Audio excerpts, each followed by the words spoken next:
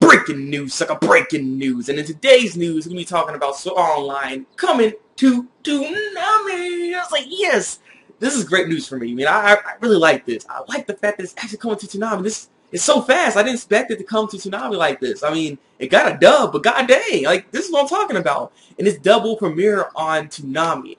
Honestly, this reminds me of a series, Deadman Wonderland, how the dub premiered on Toonami as well. So, and they're getting new series like this. Now, I like this this is good, you know. So ho hopefully they keep they keep this up by getting newer series like this and letting the, letting the dub premiere on TV.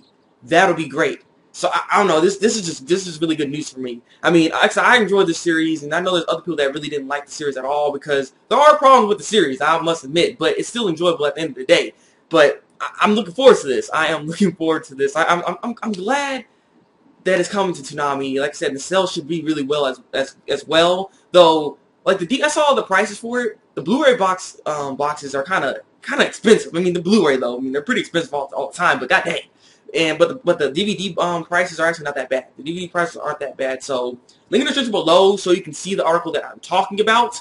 Because like I said, I am hyped for this, and since they're starting to get new, newer series like this, I'm just hoping they keep they keep they keep this like trend up and stuff like that. So if Shingeki no Kyojin stays as good as it is, and once it, once it completes, get a dub, ship that baby to Toonami, and we're gonna watch that. Yeah. So I'm, I'm looking forward to this, man. I, I just know there's gonna be other shows like if, if maybe y'all talk about gets popular too. Maybe bring all that crap over there. I'm, I don't know. I'm just, I'm just, I'm just, I'm just psyched. I'm really psyched for this. Yeah. I'm just, I'm just happy, and I'm hope, I'm hoping that we start getting more, more new series on there as well. So, like I said, leave a comment, leave a comment below. Tell me what you think of this news here today. Like like this video and subscribe to my channel if you want to see some more anime news from the Breakmaster. So yeah, it's been the Breakmaster, and until then, people, break out.